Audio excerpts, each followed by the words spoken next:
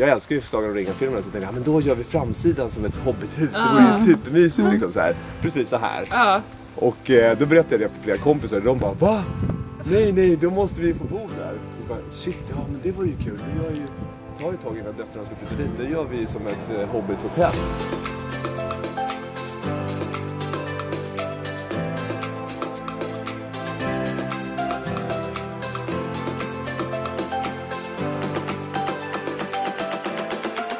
Hur kom du på den här idén? Idén började med egentligen att jag skulle bygga en utflyttningslägenhet till mina döttrar när man får bygga attefallshus. Ja. Det här är egentligen prickad mark vilket innebär att man får inte bygga på framsidan av husen här. Men attefallshusen gjorde att man fick göra det.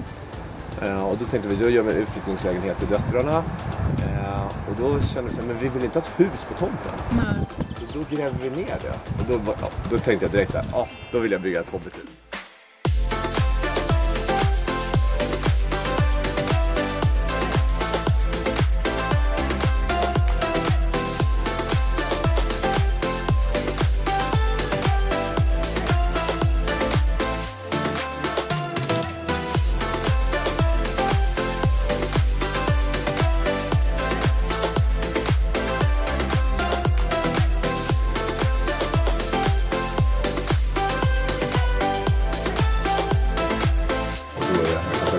Det är hundra olika punkter jag har inte ens orkat läsa.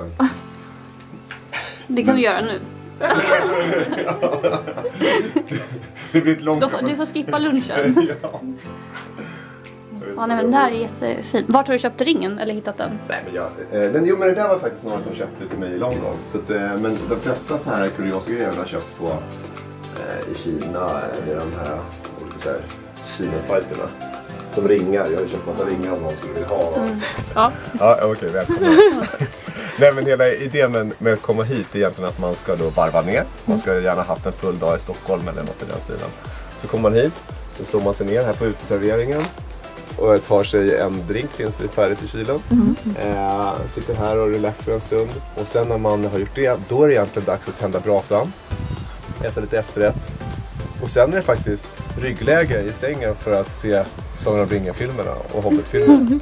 Det är 18 timmar film. Det är den enda tekniken som jäklar. syns här inne. Det finns en stor Man får boka TV. många nätter. Så att, ja, man får boka många nätter eller vara väldigt effektiv. Och sen så sover man en timme. Nej, nej, men man får väl välja eh, hur mycket man vill se. Och efter det så stiger man upp. Och sen eh, gör man first breakfast eftersom Hobber äter två frukostar. Sen så tar man en liten promenad ner till sjön här borta, tar ett dopp, badar. Eller så tar man en liten finare villor här och tittar på. Så kommer man tillbaka och sen äter man ju second breakfast. Och i det här fallet så är det ju våfflor man äter då. Så då våfflar man lite grann och sen så är klockan typ 12 och sen checkar man ut. Ja. Det är manualen för övernattning i Hobbithuset. Vilken Sagan om ringen-karaktär är du då? Jag är en alv i alla fall definitivt. Men eh, jag vet inte vilken. Och vem tror du? Jag, jag är mer en sån där hårig hob.